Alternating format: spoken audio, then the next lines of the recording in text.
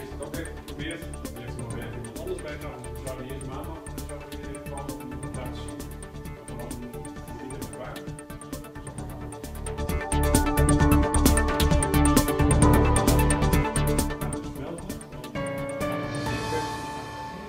lijntjes. Zorg ervoor dat op alle dingen van bouwen.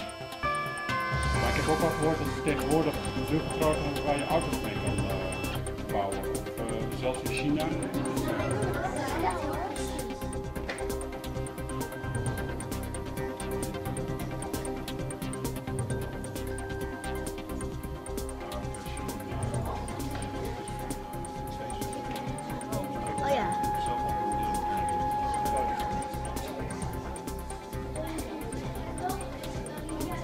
Hallo, ihr